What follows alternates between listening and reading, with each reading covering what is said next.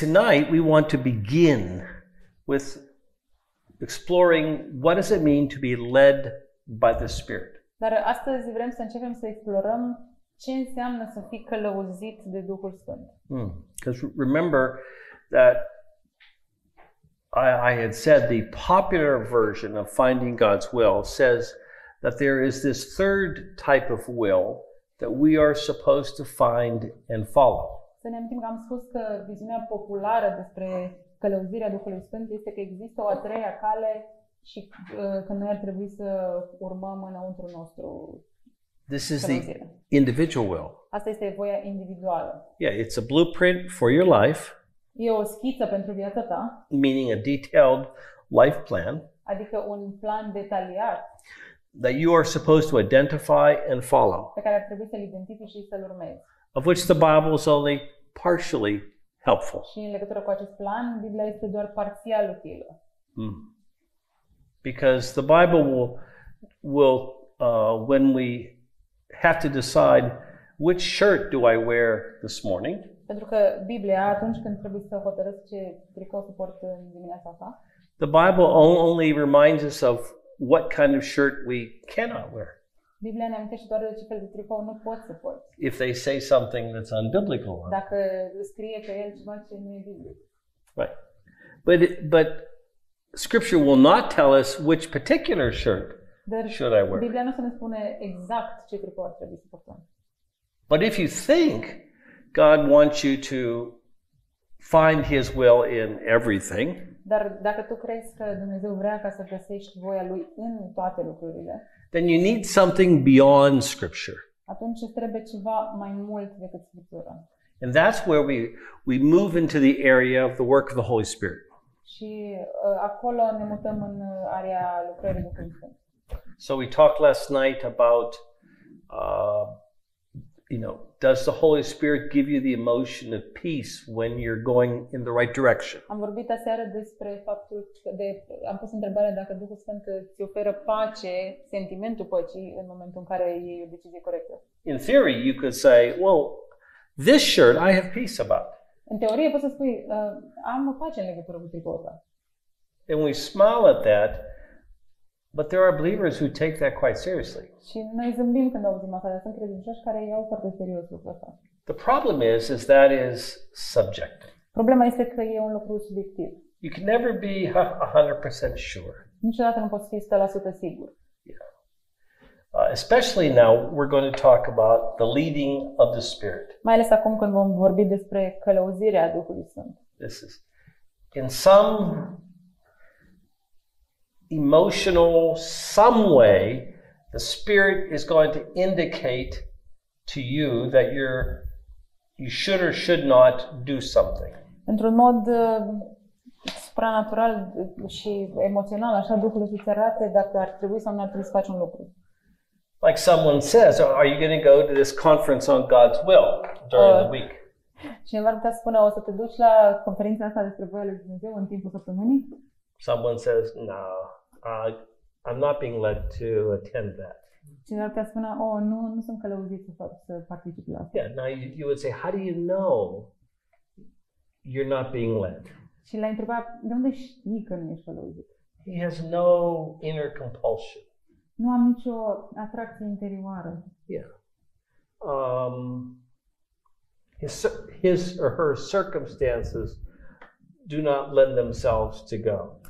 Circumstanțele din jurul persoanei respective nu se aliniază pentru ca omul respectiv să meargă. You have to feed your cat. Trebuie să-ți hrănești pisica. Yeah. But you conclude that, no, I'm not being led to do this. Dar poți să concluzionezi că nu, nu sunt călăuzit să fac asta. It- but of course, we use this in much more serious questions. Și, bineînțeles, folosim asta și în legătură cu întrebări mult mai serioase. You know, are you going to go to missions? Uh, o să te duci în misiune. Is God leading you or is He not? Te călăuzește Dumnezeu încolo sau Okay. nu? I gave the illustration last night, which was in real life, Uh, am uh, ilustrat lucrul ăsta aseară din viața reală about a pastor who said to his church, the, the Holy Spirit is unmistakably leading me to leave this church and be the pastor of another church. Am dat imaginația despre un pastor care a spus că în mod uh, neechivoc Duhul Sfânt mă îl conduce să plece dintr-o biserică anume să se ducă în alta. Yeah. And I must follow that leading. Și trebuie să urmez călăuzirea asta. Okay. So this is used quite a bit. Uh, Lucrul ăsta e folosit destul de des. So I said there are two places in the teaching passages of the New Testament that talk about the leading of the Spirit. Am spus că sunt două pasaje în uh, scriptură care dau învățătură despre călăuzirea Duhului Sfânt. Romans 8 14 Romani 8 cu 14 and Galatians 5 18. și Galateni 5 cu 18. So we'll start with uh, Romans 8 14. O să începem cu Romani 8, versetul 14. Now there is one more place, and it's all throughout the Gospels, Uh, mai este un loc și uh, acesta e prezent în fiecare Evanghelie, when Jesus is led by the Spirit out into the wilderness to be tempted by the devil. când Isus este călăuzit de Duhul Sfânt în deșert ca să fie ispitit de diavol. Now, everybody agrees that's a unique event. Cu toții suntem de acord că ăsta e un eveniment unic, So we'll just leave that one aside. așa că nu ne uităm la el. Okay. Uh, why? Pentru că unii ar spune Oh, că obi- montana lui Isus. Well, be- be- Yeah, some people will say that we are just following Jesus in this leading. well, but we need more information, more information, which the, the those accounts don't give us as to what does the leading mean. Am avea nevoie de mai multe informații pe care aceste relatări nu le dau despre ceea ce înseamnă să, eh, acea călăuzire. Since we have no information as to the content of that leading, Și pentru că nu avem informații despre ce înseamnă acea călăuzire, we must look elsewhere. trebuie să ne uităm în altă parte. So that's why the concept leading of the Spirit is, is used in teaching passages, not history like the book of Acts De, a, or, or the Gospels. de aceea, uh, învățătura despre călăuzirea Duhului Sfânt este folosită în pasajele care oferă învățătură și Right. nu în pasajele istorice sau So- în Evanghelie. So this will explain what the leading of the Spirit is, at least in 8:14 and Galatians 5:18. Și aceste două pasaje din Romani și din Galateni explică ce înseamnă călăuzirea asta. I'm not sure we'll ever have enough information to be absolutely sure about the account in the Gospels. Nu știu dacă o să avem vreodată suficiente informații ca să fim siguri despre relatările din Evanghelie. That's why we don't begin there, de nu, nu începem acolo. because we would just be guessing. Pentru că doar am dat cu presupusul. So, okay, Romans chapter 8. Uh, where does it fit into the book of Romans? Roman, capitolul 8, unde se încadrează în cartea Romani? Well, let's see. The first three chapters up through 320 talk about why everybody needs a Savior.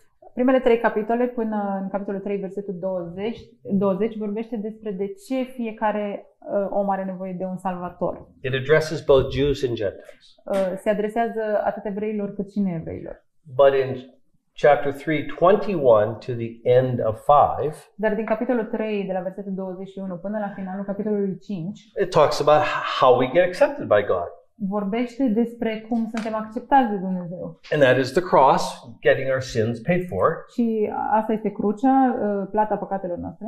So that subject is justification. Deci acel subiect este justificarea. Then chapters 6 through 8 form the next section, Uh, Apoi, următoarea secțiune este de la capitolul 6 la 8 and they talk about if you are accepted, what will your life look like? și vorbesc despre dacă ești acceptat, cum va arăta viața ta. Sanctification. Sanctificarea.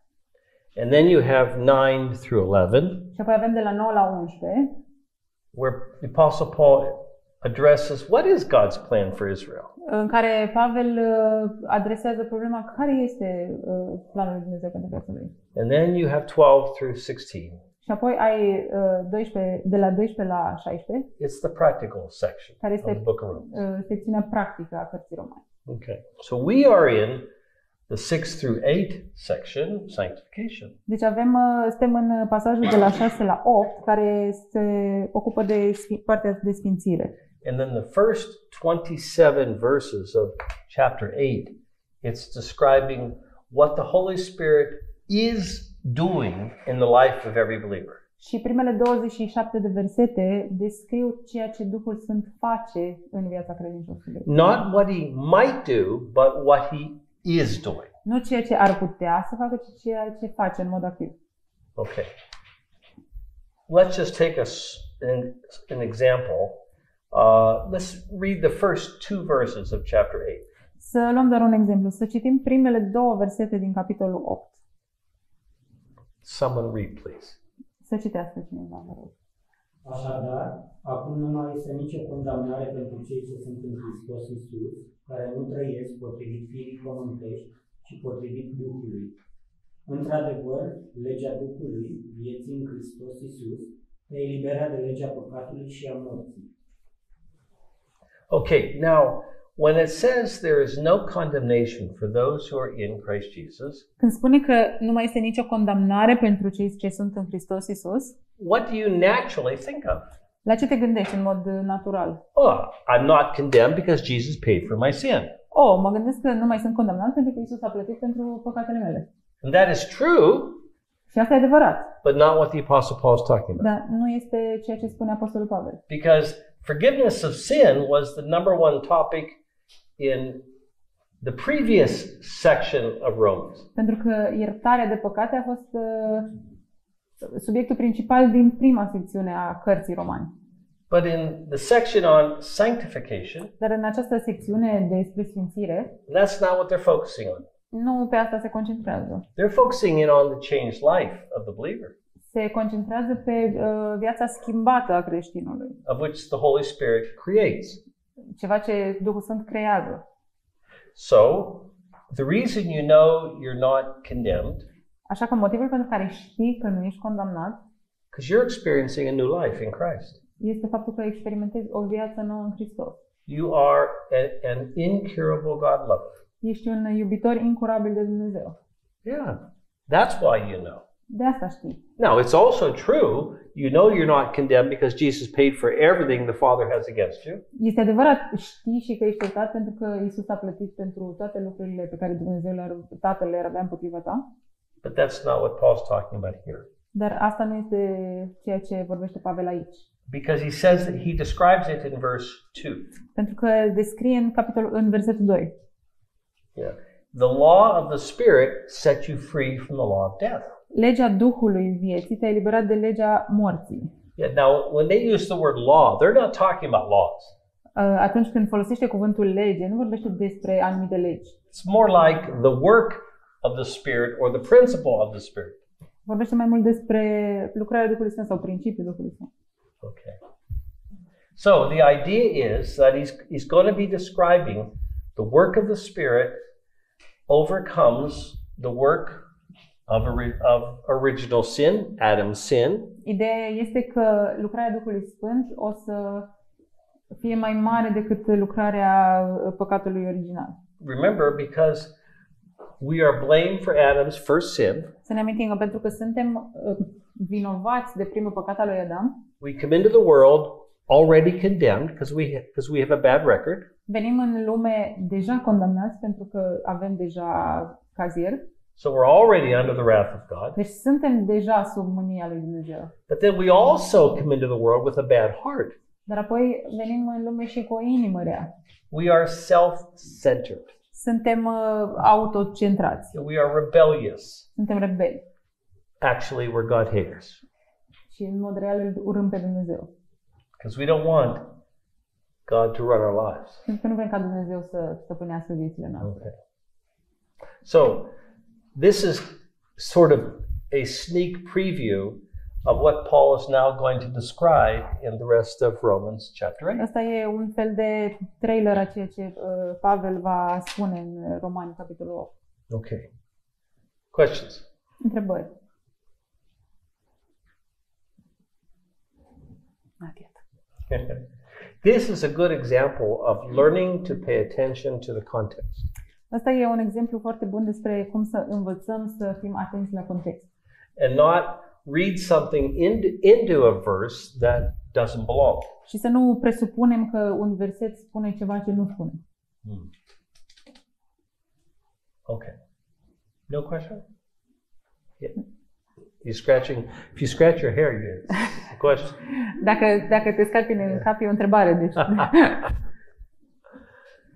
Okay, okay. Let's read verses 5 through 9 because this will help with the context as we work our way to verse 14. Să citim uh, versetele de la 5 la 9, pentru că asta o să ne ajute în crearea unui context pentru versetul 14. Într-adevăr, cei ce trăiesc potrivit firii pământești se gândesc la lucrurile firii pământești, însă cei ce trăiesc potrivit Duhului se gândesc la lucrurile Duhului. Deci gândirea firii pământești este moarte, însă gândirea Duhului este viață și pace. Și aceasta deoarece gândirea firii pământești este dușmănie față de Dumnezeu, căci ea nu se supune legii lui Dumnezeu și nici nu poate să se supună. Cei ce trăiesc potrivit firii pământești nu-i pot fi plăcut lui Dumnezeu. Voi însă nu trăiți potrivit firii pământești, ci potrivit Duhului. Dacă într-adevăr Duhul lui Dumnezeu locuiește în voi. Dar dacă cineva nu are Duhul lui Hristos, atunci aceasta nu este a lui. It's describing in black and white terms the unbeliever versus the believer. Descrie negru pe alb uh, credinciosul versus necredincios. Yeah. The unbeliever can't do what's right, Necredinciosul nu poate să facă ceea ce este corect. And it doesn't want to do what's right. Și nici nu vrea să facă ceea ce este corect. The believer can't help but do what's right. Credinciosul nu se poate abține să nu facă ceea ce este corect. Now, it seems as though he's, the Apostle Paul is painting an unrealistic picture. Uh, Pare că Apostolul Pavel uh, creează o imagine destul de nerealistă. But if you distill down what it means to be a believer and an unbeliever, this is the way it is. Dar dacă începi să scoți și să extragi lucruri despre ceea ce înseamnă să fii un credincios și ceea ce înseamnă Yeah. să fii un necredincios, asta înseamnă. An unbeliever is a self centered God hater. Un necredincios este un om centrat în sine, urător de Dumnezeu, Even though we may have embraced a form of spirituality, chiar dacă am uh, adoptat o formă de spiritualitate, no one naturally wants to give the God of the Bible control of their life. nimeni în mod natural nu vrea să-i dea Dumnezeului Bibliei controlul vieții lui. Yeah, because the way we're made, it is very natural to be religious. Pentru că în felul în care am fost făcuți, este foarte natural să fim mai degrabă religioși. But it's always religion on our terms to keep our dignity. Dar este întotdeauna o religie în termenii noștri, ca să ne păstrăm o anumită demnitate. You cannot become a believer and keep your dignity Nu poți să devii un credincios și să-ți păstrezi demnitatea. because you have to admit you're bankrupt. Pentru că trebuie să recunoști că ești Yeah. uh, falimentar. Everything we touch, we contaminate, Tot ceea ce atingem, contaminăm. and we are condemned, Suntem condamnați. and we deserve it. Și merităm asta. So, but the believer is fundamentally a God lover. Dar uh, credinciosul este în mod fundamental un iubitor de Dumnezeu. Now, you're not a perfect God lover, Acum, nu ești un iubitor de Dumnezeu perfect. But the end, at the end of the day, you will love your Lord more than you love your sin. Dar uh, în final o să iubești pe Dumnezeu mai mult decât îți iubești păcate. But that's how a believer is characterized uh, that you are living for Christ. Dar așa este caracterizat un creștin, prin faptul că trăiești pentru Hristos. Yeah, the Bible really doesn't call believers sinners, Biblia chiar nu-i numește pe credincioși păcătoși, even though we sin. chiar dacă noi păcătuim. And if you sin, you're a sinner. Și dacă păcătuiești, ești un păcătos. But the Bible wants to emphasize you're really a God lover who struggles with sin. Dar Biblia pune accentul pe faptul că ești un iubitor de Dumnezeu care se luptă cu păcatul. That's very different. Asta e ceva foarte diferit. So the Lord has already won over your heart. Deci uh, Dumnezeu a câștigat deja inima ta. Question? Întrebări? Verse 9 is the key verse. Uh, Versetul 9 este versetul cheie. Yeah, if you belong to Christ, if you're a believer, Dacă îi aparțineți lui Hristos, dacă ești un credincios, says the Spirit of Christ, the Spirit lives in you. uh, atunci Duhul locuiește în voi. Now, that doesn't mean spatially. Asta nu se referă la un lucru spațial, You know, south of pancreas, north of kidney. adică la sudul pancreasului și în nordul No, ochilor. because the whole the Holy Spirit is a person. Pentru că Duhul Sfânt este o persoană, He's God. e Dumnezeu. And God is everywhere at once without being everything. Și Dumnezeu este peste tot în același timp, fără să fie totul. So what it, so when he says the Holy Spirit lives in you, that's describing a concept. Pentru că uh, atunci când zice că Duhul Sfânt locuiește în tine, descrie un concept. Meaning the Holy Spirit is doing something in a believer he doesn't do elsewhere. Uh, spunând că Duhul Sfânt face ceva într-un credincios care nu face în altă parte. He's motivating you to live for Jesus Christ. Te motivează să trăiești pentru Hristos. Yeah. Because he is a person. Pentru că El este o persoană. Yes. I have a question. Uh, How we can make the difference between worldly wisdom and the Holy Spirit? Cum putem să facem diferența Ah. între uh, înțelepciune lumească și Duhul Sfânt? Okay. We will address that question when we get to Galatians 5:18. It's actually 5:16. O să vorbim despre întrebarea asta când ajungem la pasajul din Galateni, But that but that's a very good question. dar este o întrebare foarte bună. So don't let me forget it. Așa că nu mă lăsa să uit. Okay. Okay, so if the Spirit of Christ lives in you, Deci dacă Duhul lui Hristos locuiește în tine, so why do they call the Holy Spirit the Spirit of Christ? de ce este numit Duhul Sfânt uh, Duhul lui Hristos? Because the Holy Spirit doesn't promote himself. Pentru că Duhul Sfânt nu se promovează pe el. So if, if the Holy Spirit is really working in somebody, Deci dacă Duhul Sfânt lucrează cu adevărat în cineva, they're not excited about the Holy Spirit.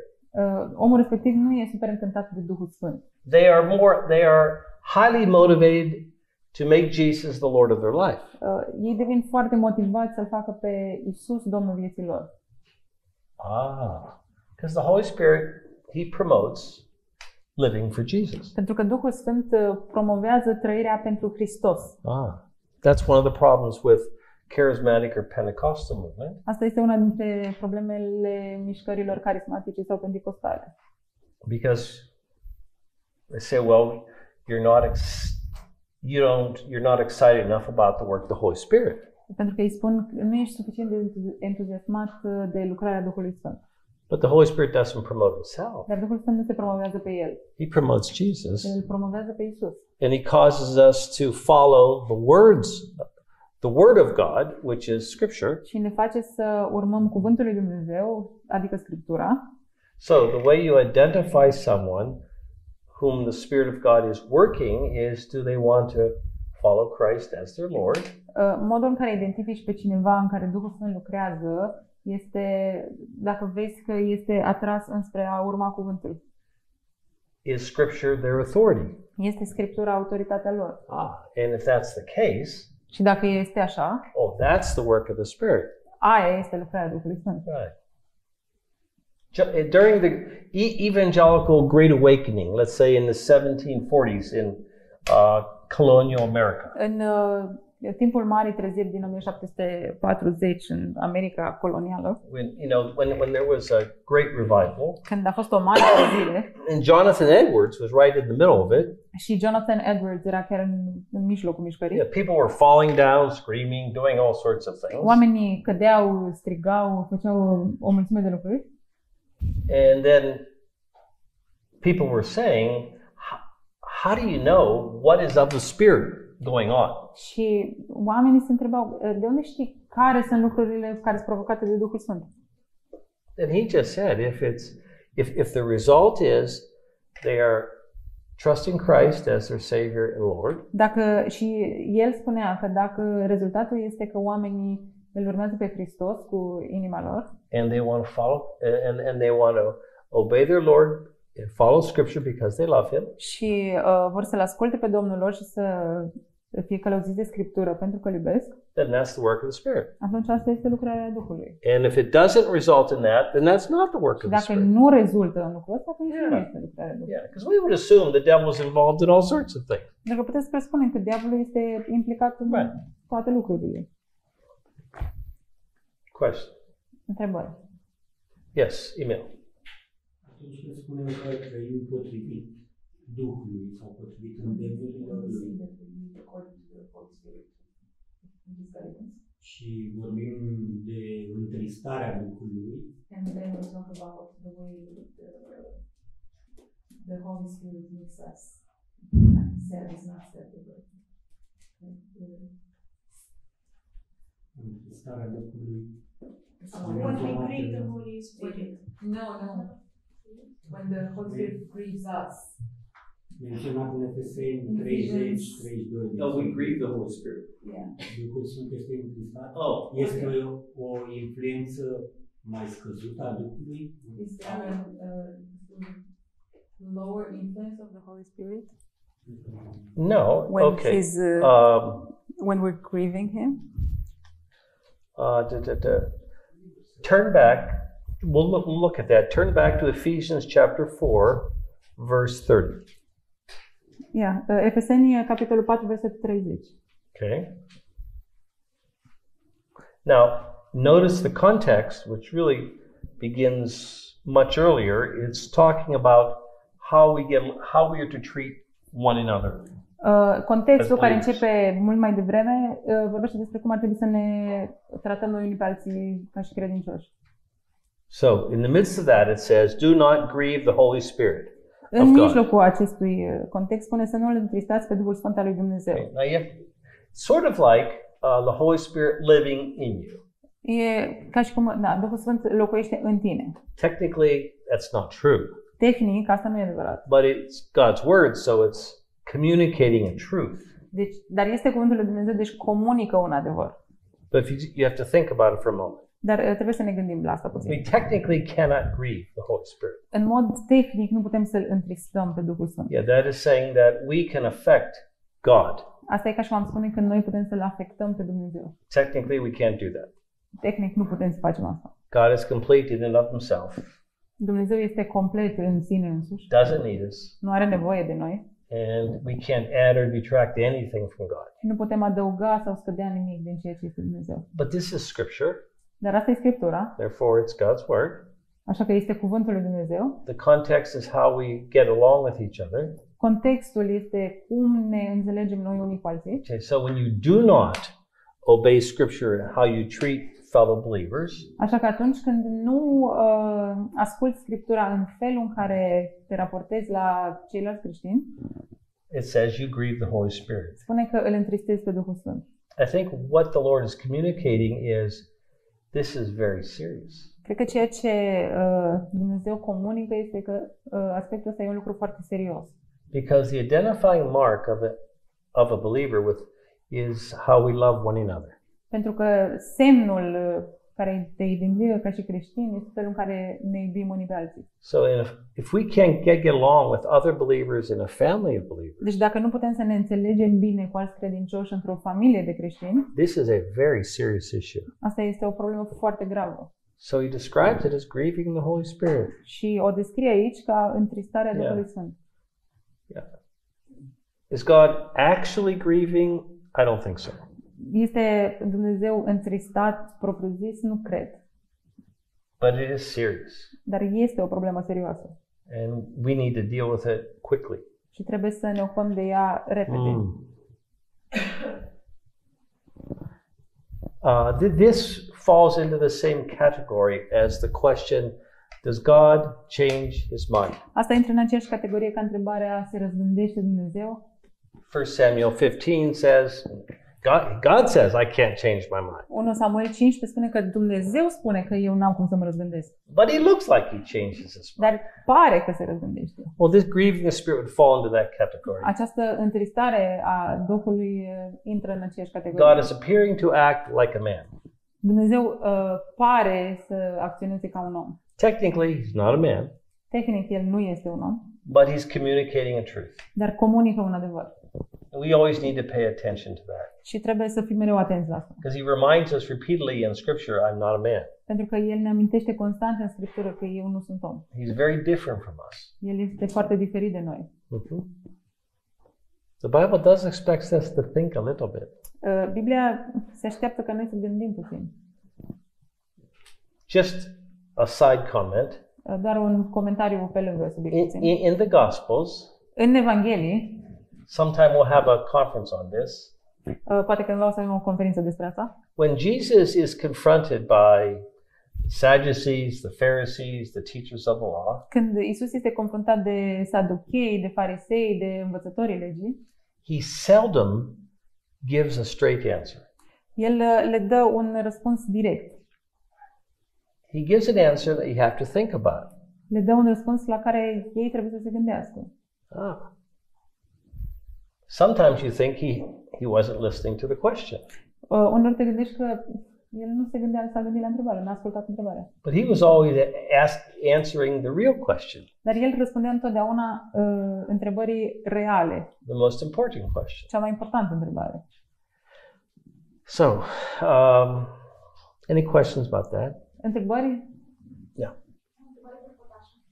Ah, I don't know how to say it potential. yeah, but Yeah. there is a specific word in Romanian that Oh. I, I couldn't. Then tell her say it in Russian. Then.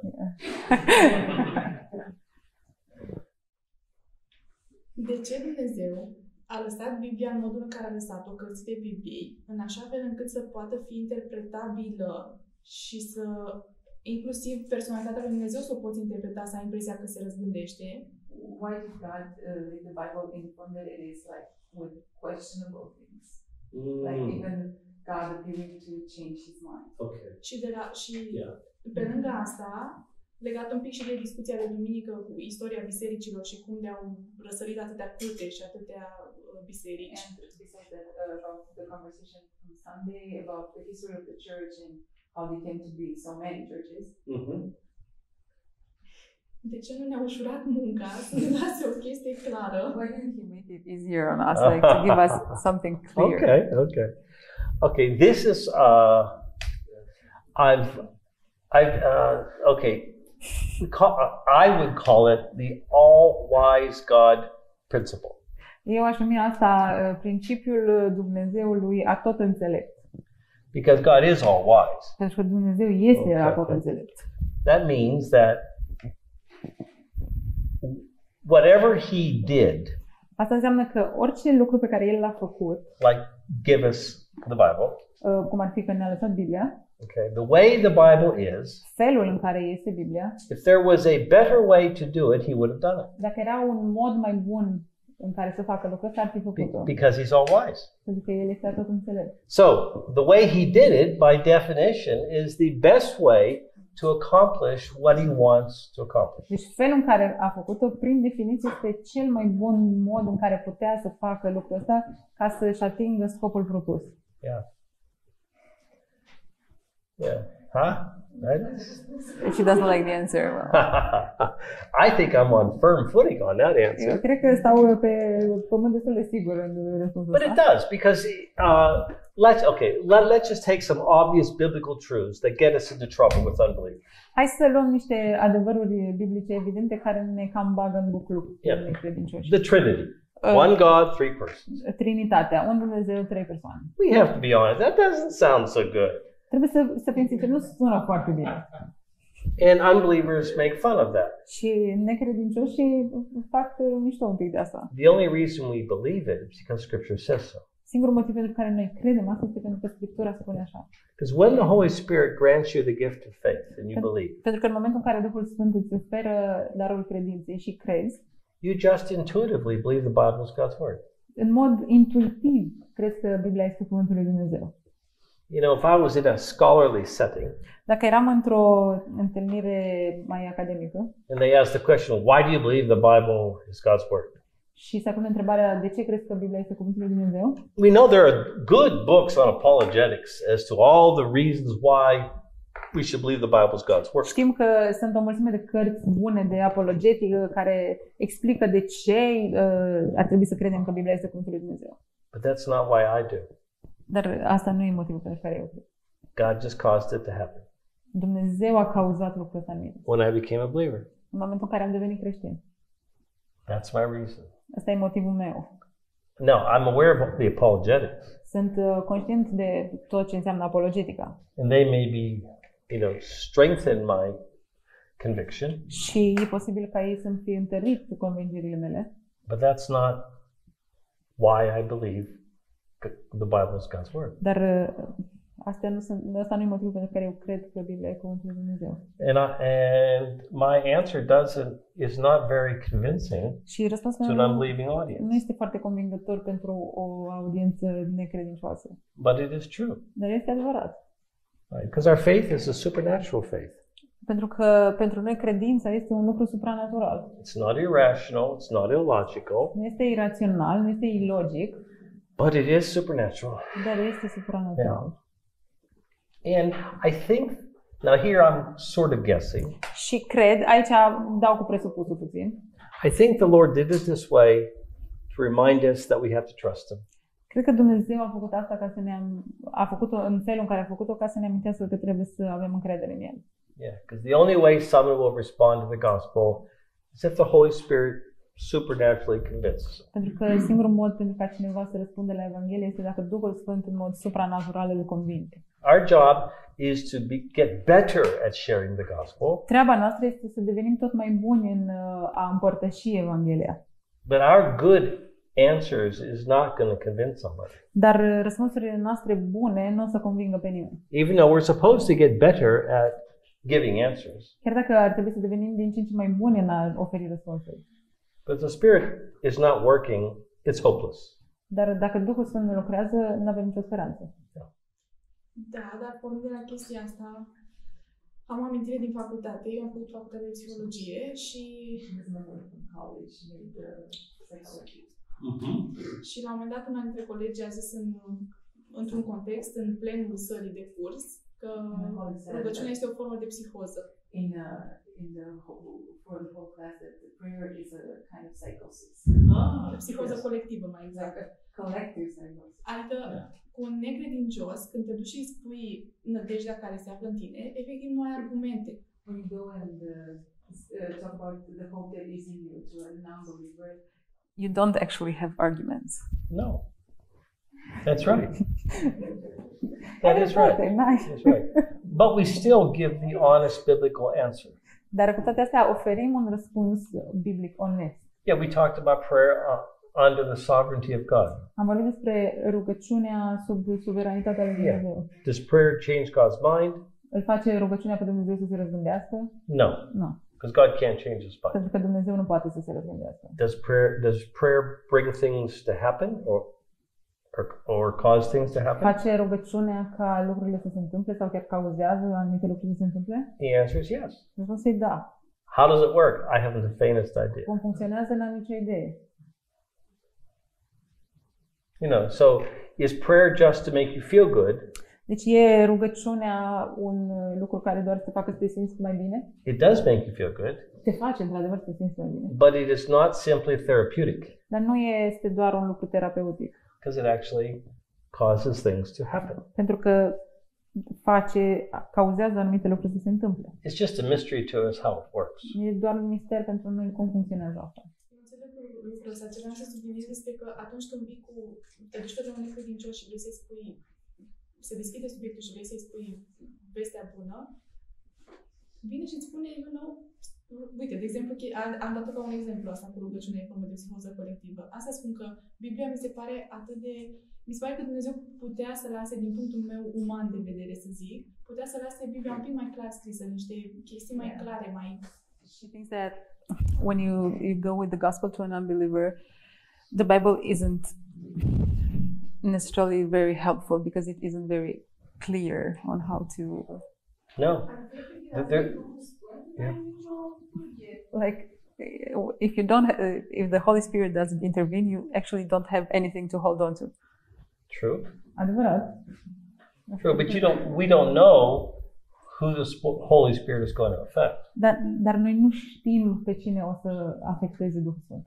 We know that Jesus died for a particular group of people, Știm că Isus a murit pentru un uh, grup specific de oameni and they will come to faith at a certain time, according to God's plan. și ei vor veni la credință într-un anumit moment, conform planului lui Dumnezeu. We're just to share with the gospel with anybody who will listen. Noi trebuie să spunem Evanghelia oricărui om care ascultă And if it's the right person, the right time, they believe. Dacă este persoana potrivită și timpul potrivit, o să creadă. And if not, they don't. Și dacă nu, nu. Or you never know that in God's plan, let's say for Emil, Emil had had to hear the gospel 27 times before he was granted the gift of faith. Dar nu putem să știm dacă nu cumva în planul lui Dumnezeu să luăm de exemplu pe Emil că poate a ascultat, a auzit Evanghelia de 20 de ori până a venit la And you could be number 16. Și tu poți să fii numărul 16. We have no idea. Nu avem voie să știm. We just want to be faithful. Noi vrem doar să fim credincioși. That, that's our job. Asta e treaba noastră. And to pray for people. Și să ne rugăm pentru oameni. Yes. Vreau și eu unul sau două versete pentru asta, că rugăciunea schimbă. Uh, he wants uh, uh, Bible verses for examples about the fact that the the prayer actually makes things have to happen. Oh, sure. Uh, turn to, let's see here. Um, uh, Ph- Philemon. Filimon Uh, that's a clean part of the Bible. e din nou o porțiune curată a Bibliei. No one hangs out in Philemon. Nimeni nu petrece timp în Filimon. Philemon 22, Uh, Filimon 22, because there's only one chapter. că e un singur capitol. Would someone read? Would you read that? Citește please? tu, Lorisias. Totodată, pregătește-mi un loc de găzduire, că sper ca, prin rugăciunile voastre, să fiu dat înapoi. Yeah. Prayer does bring things to pass. Rugăciunea face ca anumite lucruri să se întâmple. Paul, Paul seems to be counting on it. Pavel pare că se bazează pe asta. Yeah. But it is a mystery how it works. Dar e, rămâne un mister cum funcționează. Yes. Am o întrebare. Um, este legit să ne rugăm Duhului Sfânt? Is it uh, a legit thing to pray through the Holy Spirit? Sunt? Are there biblical arguments for this? That's that, that. That's a good question. E o întrebare bună. Uh, in Matthew six, on In- S- Sermon on the Mount, În Matei 6, în rugăciunea de pe munte, the Lord's prayer, rugăciunea Domnului, we're told to pray to the Father. ni se spune să ne rugăm Tatălui. Yeah. The um, we're, we're not even told to pray to Jesus. Nu ni se spune nici măcar să ne rugăm lui Isus. So the apostles directly talked to Jesus, Uh, Apostolii atunci vorbeau direct cu Isus. but once he ascends, you know, he rises from the dead and ascends into heaven. Dar în momentul în care El a înviat și s-a înălțat la ceruri, Now we're told we pray to the Father, acum ni se spune să ne rugăm Tatălui. or I should say, we're able to pray to the Father because Jesus purchased us a place in the family of God. De fapt, ar trebui să spun că ni se, uh, avem dreptul să ne rugăm Tatălui pentru că Isus a câștigat un loc pentru noi în familia lui Dumnezeu. But there's no examples of praying to the Spirit in Dar nu Scripture. sunt exemple de rugăciune adresată Duhului în Scriptură. Right. So the reason you'll be able to pray is the Holy Spirit is working in you. Motivul pentru care poți să te rogi este pentru că Duhul Sfânt lucrează în tine. Yeah. So the each person of the Trinity has a role to play in prayer. Așa că fiecare persoană a Trinității are un rol pe care îl joacă în rugăciune. But when Jesus is asked by his disciples, teach us to pray, Dar în momentul în care ucenicii îl întreabă pe Isus și îi spun învață-ne să ne rugăm, he said, pray to the Father. el spune rugați-vă Tatălui, Yeah. Not not even to him. nici măcar lui. So that's really what we have in Scripture. Asta e ceea ce găsim în Scriptură. So we have no examples of praying to Jesus, Deci nu avem exemple uh, uh, de rugăciuni adresate lui Isus no example of praying to the Spirit. și nu avem exemple de rugăciuni adresate Duhului Sfânt. I became a believer in 1970 when I was at the university. Eu uh, am devenit creștin în 1970 când uh, That's eram long, la universitate. long before you.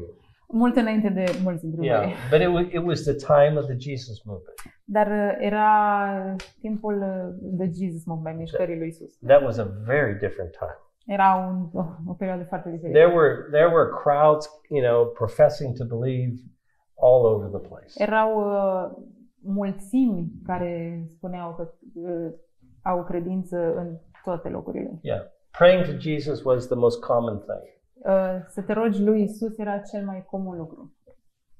But theological grounding was not exactly a strength of that er- of that time. Dar o bază teologică nu era un punct forte al acelei Mm. perioade.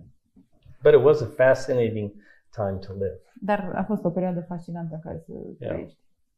So that's the best I can do. Asta e cel mai bun lucru pe care îl Yeah. Dar aș vrea să mă lase să termin întrebarea pe la sfârșit. Well, he- he will say the whole question. Probably is long. I don't know. Doar, doar să nu se grăbească săraș. Uh, Dumnezeu ne încurajează să ne rugăm Okay, uh, God, sorry. God encourages us to pray pentru că ar fi și el surprins de cum funcționează rugăciunea because he would be surprised on how that specific prayer would work. sau ne așteptăm ca Dumnezeu să facă ceva cu rugăciunea aia. Or uh, are we to expect that God should do something with that prayer? Pentru că suntem în... Let me finish. That's why I said. Uh, pentru că suntem încurajați, spre exemplu, Domnul Iisus le spune ucenicilor, nu mi-ați cerut nimic, cereți-mi și vă ruga pe Tatăl să facă ceva. Because we are encouraged by Jesus himself that he says, You didn't ask me anything, ask me something and I will ask the Father and he will do something. Pentru că pare ca și cum rugăciunea ar fi ceva ce facem fără nicio destinație. Ori e spre Dumnezeu. It O seems așteptare de la Dumnezeu. something that we do without the destination, but it's actually addressed to God, waiting something from God. Yes. And when Jesus said to his disciples, Ask me and I will talk to the Father, that, that was only when Jesus was here on earth. Când uh, Iisus le spune Yeah, but- ucenicilor, uh, rugați-l, uh, spuneți-mi mie și o să rog eu pe tată, era doar când Okay. Iisus era aici. So, Generally, when you speak, when you pray, no. yeah, yeah, okay. So, we talk to God. The prayer, yeah, yeah, yeah, yeah, we, we yeah, we, because a believer, we have a personal relationship with God. We just talk to Him. Ca și credincioși, noi avem o relație personală cu Dumnezeu, așa că vorbim direct cu El. Yeah. Deci, deci când ceva se întâmplă, rugăciunea mea schimbă sau faptul că vorbesc cu Dumnezeu. So when something happens, my prayer changes something, or the fact that I speak to God about that thing. The Bible doesn't. The Bible doesn't differentiate. Biblia nu diferențiază. Tocmai de aceea, credincioșii au o oarecare așteptare ca Dumnezeu să facă lucruri. Yeah. That's why believers expect that God would do something. Well, God, God responds to every prayer. Uh, Dumnezeu răspunde la fiecare rugăciune. No is a response. Nu este un răspuns. Okay. Eu spun asta legat de afirmația că rugăciunea este ceva mistic, nu mistic. He says this is regarding the fact that uh, prayer works in a mysterious way. Rugăciunea It is. sau Dumnezeu lucrează? It- it is Prayer works in a mysterious way, or God works in a mysterious way. both. Amândouă. I mean, that's the hymn by that's the that's the hymn by William Cooper, the Puritan. God does work in a mysterious way. Dumnezeu lucrează în moduri misterioase. uh, but prayer is it is mysterious how it works. Dar este un mister felul în care funcționează. All we're told is to ask about anything we're concerned about, Tot ceea ce ni se spune este să cerem des, ceva despre orice lucru care ne îngrijorează and God answers prayer. și Dumnezeu răspunde. He may be creative how he answers it, but he does answer. Poate să fie creativ în felul în care răspunde, dar răspunde. Right. Okay. This is a challenge. If you take scripture seriously, prayer is a challenge. Dacă iei Biblia foarte serios, rugăciunea e o provocare. If he didn't reveal that God determines everything, Dacă nu ar arăta faptul că Dumnezeu determină toate lucrurile, prayer would be easy. rugăciunea ar fi ușoară. But he does but he does reveal that. Dar uh, expune foarte clar lucrul ăsta. So we know that God is going to do what God's going to do. Dar uh, noi știm că Dumnezeu o să facă ce vrea El să facă. Yet we have these very clear passages on prayer, După, like Philippians 4. după aceea avem aceste pasaje foarte clare despre rugăciune, cum ar fi Filipeni 4, Yeah. That we are supposed to ask for things. în care se spune că noi ar trebui să cerem anumite lucruri. On the surface, that doesn't seem to fit well with the sovereignty of God. La suprafață nu pare să se potrivească foarte bine rugăciunea cu suveranitatea lui Dumnezeu. Because we find ourselves, well, why pray? God's going to do what he's going to do. Pentru că ne întrebăm de ce să ne rugăm dacă Dumnezeu o să facă oricum ce vrea El. And yet we have to live with both of these truths. Și cu toate astea trebuie să împăcăm ambele adevăruri. And we can't allow the sovereignty of God to cause us not, not to pray. Și nu putem lăsa ca suveranitatea lui Dumnezeu să uh, cauzeze în noi o lipsă de dorință de a ne ruga. Yeah, the person who prayed the most was Jesus. Omul care s-a rugat cel mai mult a fost Isus. And he was God. Și el era Dumnezeu. He was talking to God. El vorbea cu Dumnezeu. We don't even understand that. Nu înțelegem nici măcar asta. So this it's an example where we just have to accept what God says, Este un exemplu în care trebuie doar să acceptăm ceea ce Dumnezeu spune, be obedient, să fim ascultători, recognize there is mystery in there, să recunoaștem că este mister acolo, but that can't keep us from being obedient. dar asta nu poate să ne țină din a fi ascultători. So sometimes we have to work harder at it. Uneori trebuie să muncim puțin mai mult la asta. Dacă rugăciunea noastră este slabă uneori If our prayer is weak sometimes, și Duhul Sfânt o completează, că nu știm să ne rugăm, and the Holy Spirit like completes us because we don't know how to pray, nici cu Yeah. Duhul Sfânt nu ajunge rugăciunea la rezultat. uh, Romani 8, da, cu not even with the Holy Spirit uh, will we get this prayer to a desired result. No, we, okay. Okay, you're referring to Romans chapter 8, but that would more refer to, let's say, when you're in, in a emotional crisis. Uh, Hai să luăm ca exemplu, dacă ești într-o criză emoțională, You don't even know what to pray for. nu ai nicio idee ce ar trebui să rogi. At that point, Paul says the Spirit's praying for you, În acel moment, Pavel spune că Duhul se roagă pentru tine and since the Holy Spirit is God, și cum Duhul Sfânt este Dumnezeu, he knows God's will. El știe voia lui Dumnezeu So whatever he prays always happens. și orice se roagă se întâmplă, So you have coverage. deci ești acoperit. Yeah. All this is a reminder the Lord's going to take care of you. Asta nu e decât un reminder al faptului că Dumnezeu o să aibă grijă de Yeah. tine. But we are limited in the amount of understanding we have. Dar noi suntem limitați în uh, înțelegerea noastră. Question. Întrebări. Back to Romans 8.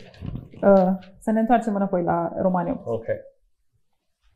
So in verses 5 through 9, uh, the believer is simply described as in the Spirit.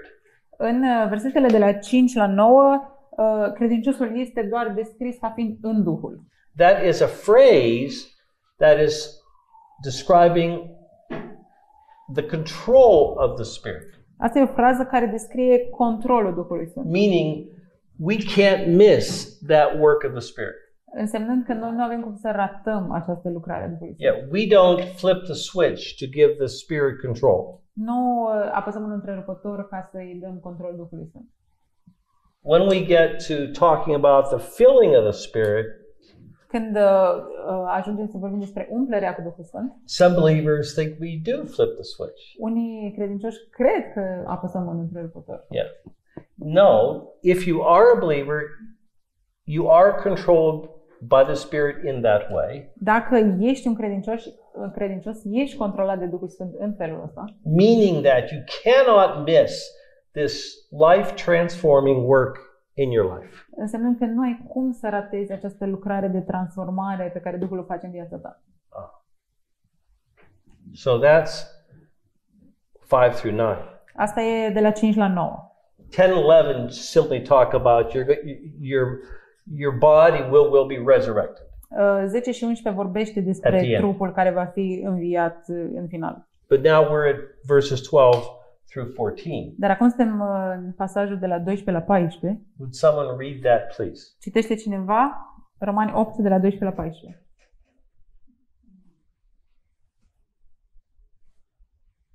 Deci, fraților, noi nu mai suntem datori față de fire ca să trăim potrivit ei. Pentru că dacă trăiți potrivit firii, veți muri. Dar dacă prin Duhul dați morții faptele trupului, veți trăi. Căci toți care sunt călăuziți de Duhul lui Dumnezeu sunt fii ai lui Dumnezeu. Okay, how would I paraphrase 12 through 14? Cum aș parafraza uh, versetele de la 12 la 14? Okay.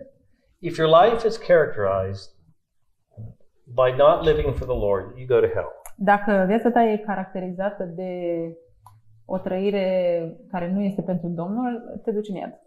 If it is characterized by living for the Lord, you, Da. go, to, you, go, you go to heaven. Dacă este caracterizată de o trăire pentru Domnul, te duci în noi. Yeah.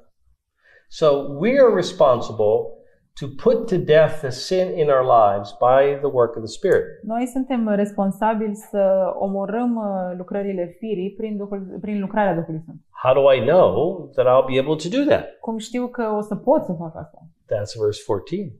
Asta e versetul 14. So, verse 14 says that if you're a believer, you're a child of God. Versetul 14 spune că dacă ești un credincios, ești un fiu al lui Dumnezeu.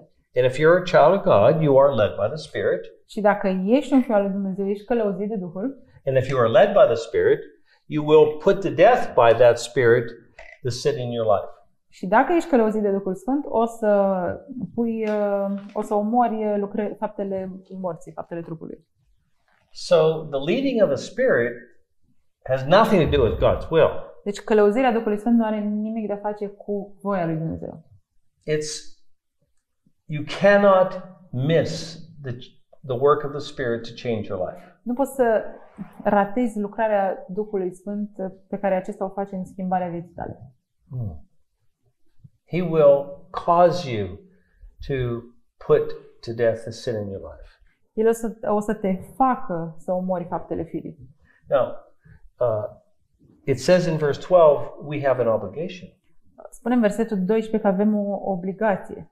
to battle sin. Suntem datori să ne împotrivim But then păcatele. it says, but the Holy Spirit will enable us to do it. Dar apoi spune că Duhul Sfânt o să ne împuternicească să facem asta. So if you're a believer, you are being led by the Spirit. Deci dacă ești un credincios, ești condus de Duhul Sfânt. Not in a God's will way, Nu într-un mod uh, referitor la voia lui Dumnezeu, but it's the guarantee that you're going to change. dar este o garanție că o să te schimbi. Hmm. This is very comforting. Asta e un lucru foarte încurajator. Actually, the knowledge of this De fapt, să ș- simplu fapt că știi lucrul ăsta causes the believer to redouble their efforts to live for Christ. îl provoacă pe credincios să-și dubleze efortul de a-L urma pe Hristos. But the Spirit gets all the credit. Dar uh, uh, Duhul Sfânt primește toate meritele. Okay. Question. Întrebări. Când ne rugăm noi, se roagă Duhul nostru sau Duhul Sfânt? When, when we pray, uh, is our spirit that prays or uh, the Holy Spirit through us that prays? Uh, when we, uh, in what context? În ce context? 26. Din Romani 8? Dacă Uh, verse 26.